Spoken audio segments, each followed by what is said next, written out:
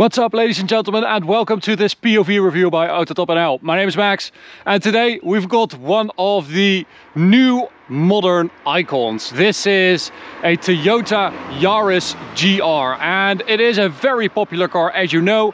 We've made a review with it.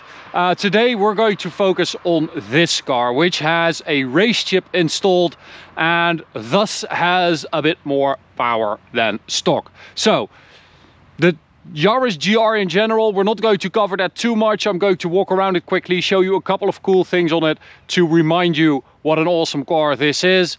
And then we'll take it for a drive on this beautiful road. Absolutely gorgeous. We're in uh, near Göppingen in the south of Germany, near Stuttgart. It's so nice here. The roads are great, much better than uh, where we come from.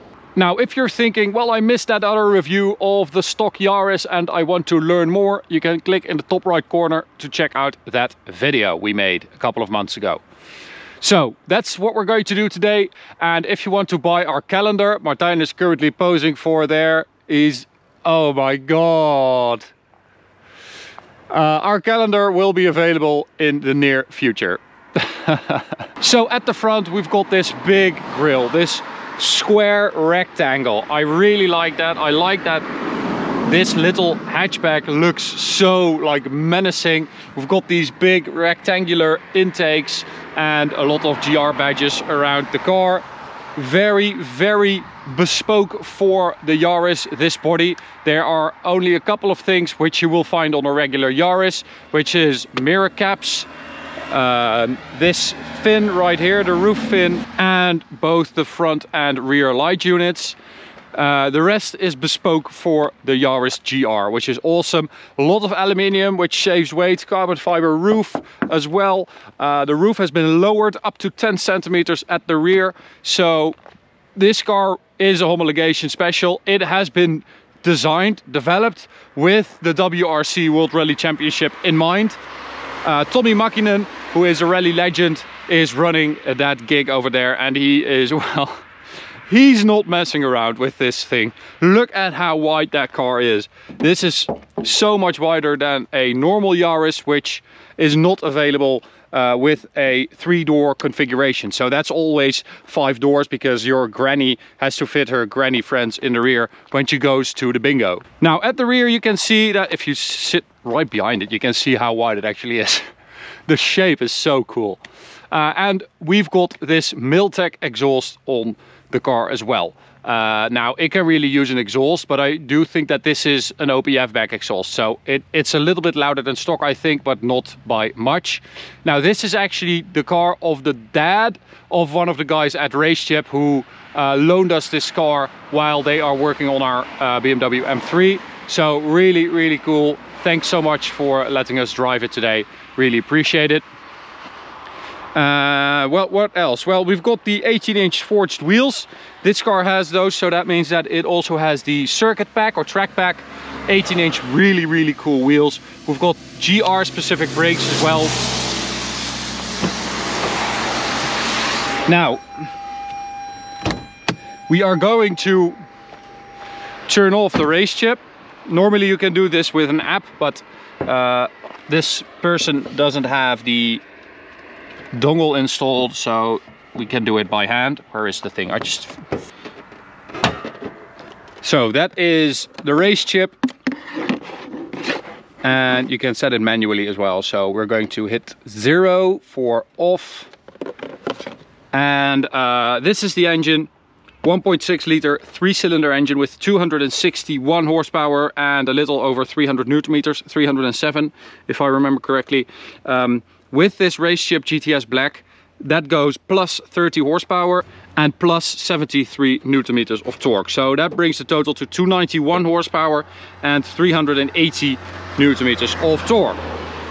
Which is nice, a nice increase, but I guess, you know, this three-cylinder engine has already been so like developed that, you know, normally these race chips get a little bit more power.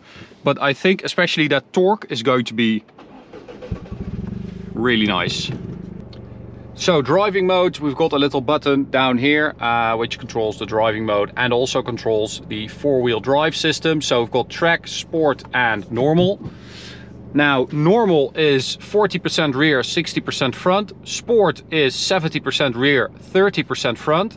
And uh, track is 50-50, but with the ability to split it 100% either way, in theory. So there's a truck coming, so I'm going to make sure that yeah, we're in front of that. So we have a nice empty road in front of us. Here we go. Let's have some fun.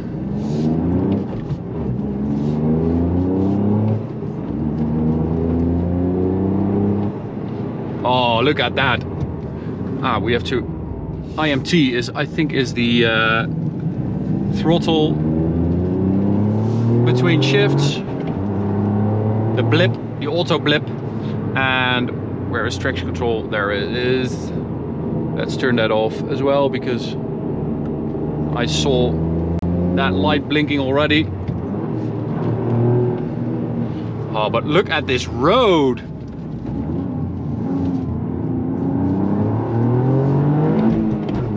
Oh, and what a lovely, what a lovely hot hatch this is. This really is something special. It honestly, it's very rare to come across a car like this that feels this different from everything else. Okay, so we've got a traffic light here, which we just skipped. Let all the guys go and then we're going to stop here at the red light, which honestly looks like a freaking rally stage, doesn't it? We're here like waiting for for the light to turn green. Um, so yeah, we're going to drive it a little bit with the RaceChip off uh, as like a reminder of how it feels. And uh, then we're going to turn it on and turn around and see what it's like. Well, that took a lot longer than I was expecting. But anyway, we should have a nice clear view in front of us now after these roadworks.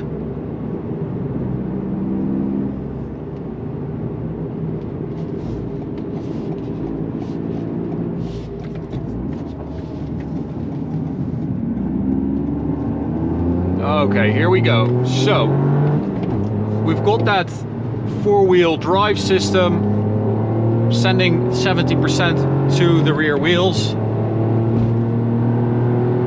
Oh man. It feels so powerful really. For a three cylinder, you really don't feel like you're driving a three cylinder.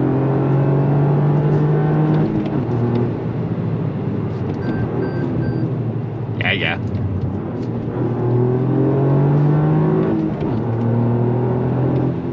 So we've also got two Torsen differentials, one at the front, one at the rear, and like a center clutch in the middle to divide the power. But this, this is very good. It handles like, wow. It's it. You can really feel that the car is so short and wide.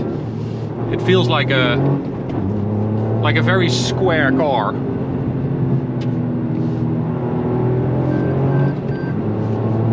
Lane departure warning. No, I don't want that. Okay, whatever. So look at this beautiful road. This is also, you know, a very good road for this car. To do this car justice, I would say.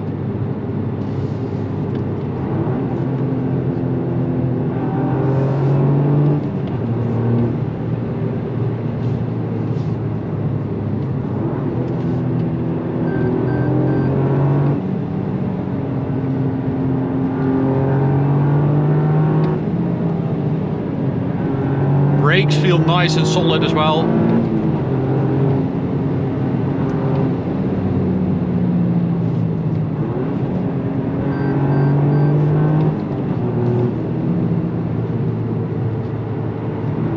Yeah, it's a very good car.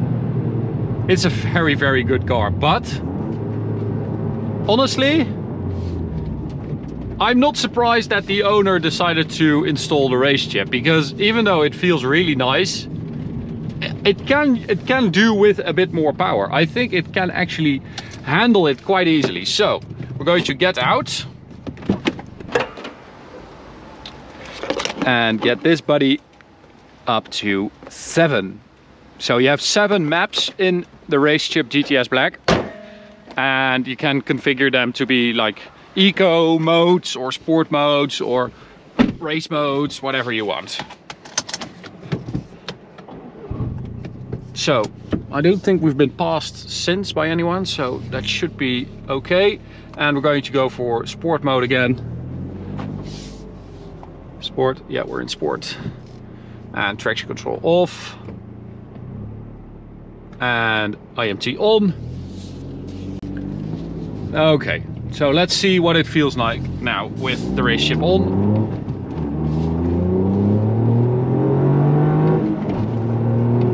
Okay, yeah. you can definitely feel it already. It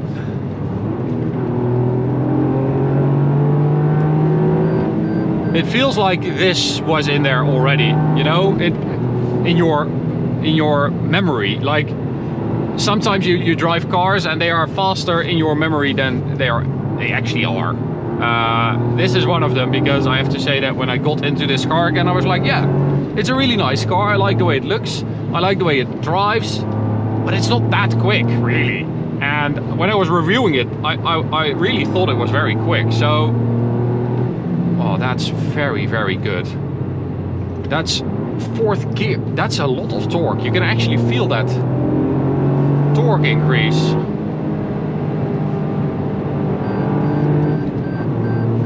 Oh my god, I'm going to murder that lane departure warning. How can you turn that off? There it is. Okay.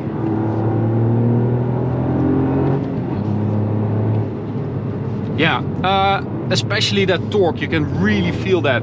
Uh, you know, that's the great thing about this RaceChip. Oh, it picked up really well there as well. Uh, that's a good thing about the RaceChip. You can turn it off and on again and you can drive it back to back. You know, multiple times. You can drive the same road up and down. Ah, oh, that feels really, really good. It's definitely a bit more punchy and I think the throttle response is a bit better as well. That is impressive.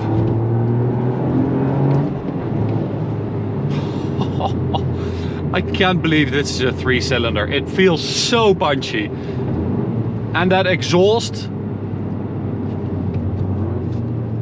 that exhaust, you know, it's not super loud, but you can definitely hear that you've got a bit more of a growl there than stock. Wait, I mean, stock it is completely completely quiet basically. There's really nothing nothing coming from those exhaust uh, from those tailpipes so everything is like an improvement I would say basically. So that tag really helps. So in short yes this RaceChip really adds something to this car. 30 horsepower 73 newton meters you really do feel that. You just it just revs out a bit more like strong. It just feels like a bit more potent. Yeah, I, I, I really like it. I think it's an awesome, uh, awesome install for this car. Okay guys, so uh, let's take it to the Autobahn. Wave to Martijn, who is going to wait here. Bye! And we are going to go to the Autobahn. Now, let's Oh, we've got everything in the right settings already because Martijn just did the Autobahn run.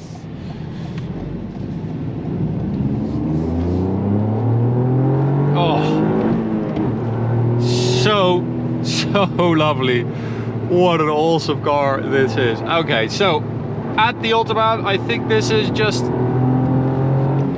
a little bit of roadworks and then we've got unlimited, unrestricted, as you can see the sign right there. Now, what are we going to do? We're going to accelerate third gear. There we go.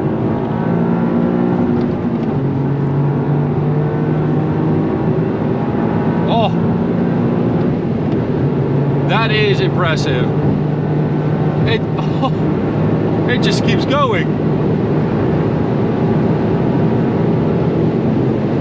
220. Not bad.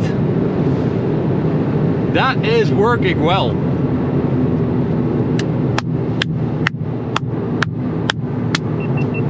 And the Oscar for most idiotic performance goes to Max at Autotop NL again for forgetting to turn on the speedo cam. Again, it, it, it, it happens so many times. Okay, uh, that's fifth gear. We're going to go for fourth gear and slow down a little bit. Now we're just going to see if we can get a gap here.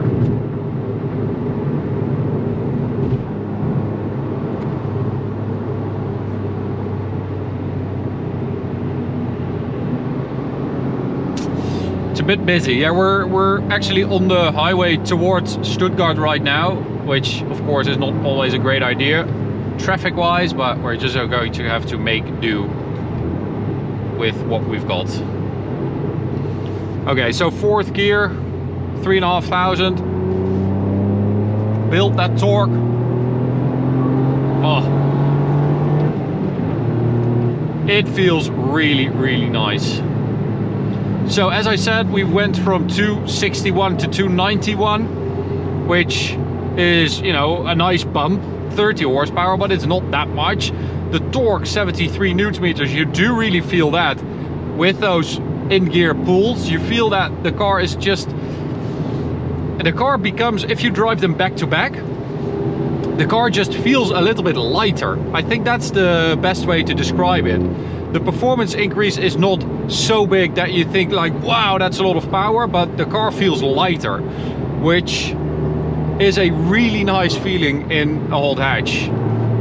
Okay, there we go again, fourth gear. Nice little pull.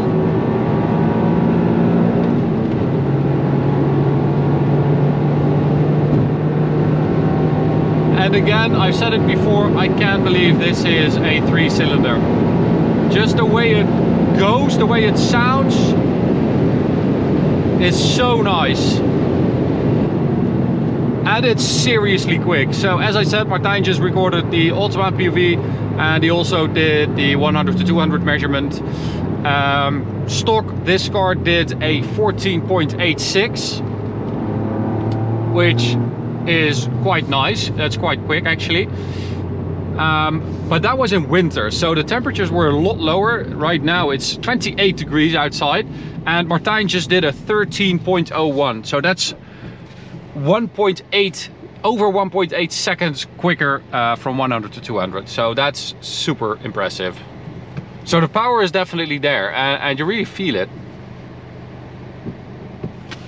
It's a good little upgrade. I like it. I like this car too. I think it's a lot of fun.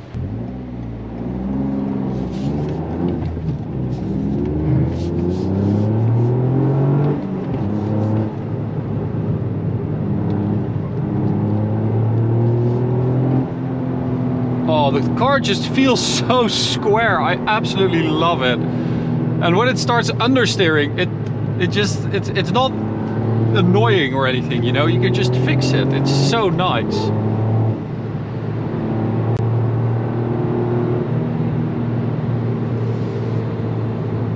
Okay, so let's go right again. And let's go for third gear below 100. Here we go, full throttle.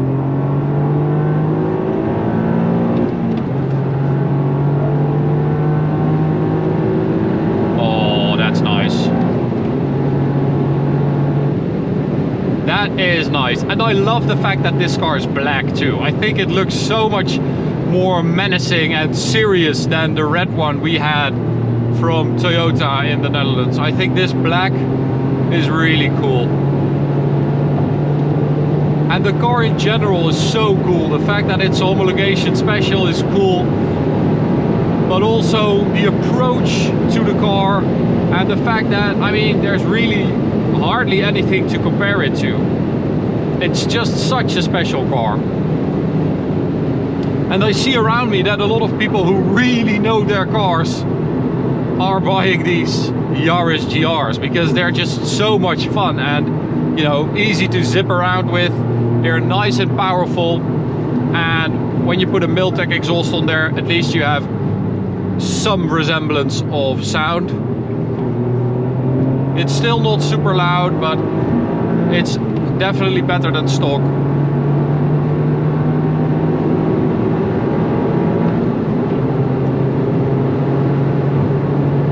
Yeah, that's nice.